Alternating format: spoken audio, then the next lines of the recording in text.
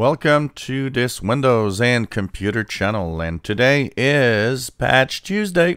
Yep, second Tuesday of the month of March 2020. And that means that today, of course, lots of security updates for Windows. Of course, Windows 8.1 and several versions of Windows 10. Once again, we are now at the uh, second month without updates for security for Windows 7. Just a quick note, because some people were saying, well, I got security updates for Windows 7 last month. Those were not security updates. They were just a bug fix for a problem that was created with the January update.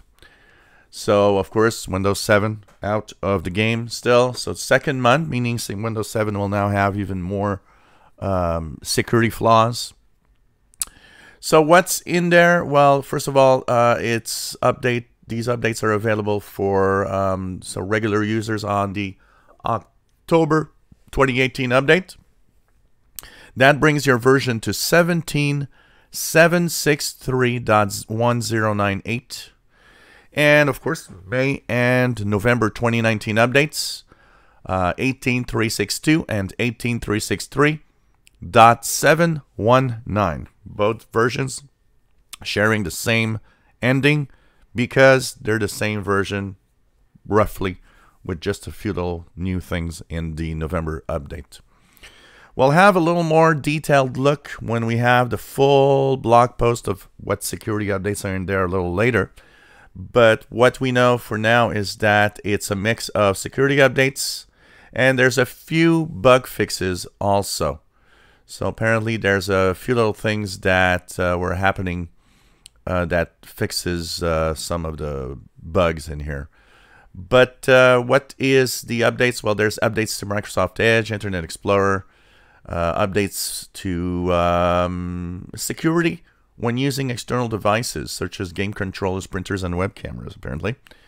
Uh, the full upgrading, of course, has um, updates for the Windows App Platform, frameworks, Windows Media, Windows Silicon Platform, Edge, Internet Explorer, Windows Fundamentals, Windows Authentication, Windows Peripherals, Windows Update Stack, and the Windows Server.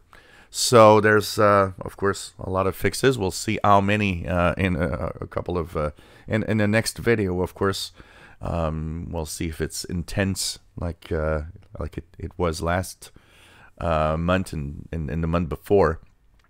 Uh, there's one fix for uh, corrupted third-party assemblies that makes uh, certain users uh, prevent certain users to upgrade the uh, operating system. So, see if you aren't able to move forward, apparently there's a fix in here that enables and fixes a problem that you couldn't move forward to a next version of Windows 10 in that little thing. So head on to your computers because I mean there's optional updates that I always say that's not important if your computer runs well, but security updates are definitely important. And uh, of course, I am at the forefront of the situation, looking at what's happening. If there's anything uh, going bad or anything, you know, we'll talk about it. Uh, of course, these are always little critical updates and moments. And it seems in the last month, uh, Microsoft has not had the best of times with updates. But these security updates keep you safe, and it's important to apply them. So head on to your Windows updates and check it out. And of course, if you don't, well, we're probably going to install in the next day or two automatically through the Windows update um, in Windows 8.1 and Windows 10 computers. If you enjoy my videos, please subscribe, give us thumbs up. Thank you for watching.